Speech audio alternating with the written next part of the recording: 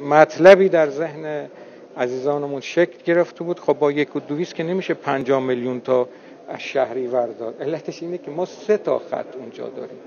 خط یکمون که راه افتاده است که الان تا الان سه و خورده تولید کرده و مرتب داره می‌کنه. خط دومون به الحمدلله با تکیه به تلاش عزیزانمون و لطف پروردگار خط دومون هم راه افتاده الان در حال تست راه اندازی هست و فکر می‌کنیم از هفته اول مرداد ماه اینم شروع می‌کنه که اینم خودش هفته دو میلیون میده. و در خط سمون در پایان مرداد ما فکر می‌کنیم انشاءالله اینم راه اندازی بشه که خب این در حقیقت هفته 6 میلیون می‌تونه بده. حالا اینا رو وقتی می‌ذاری به هم دیگه اون مسئله 5 میلیون تو حل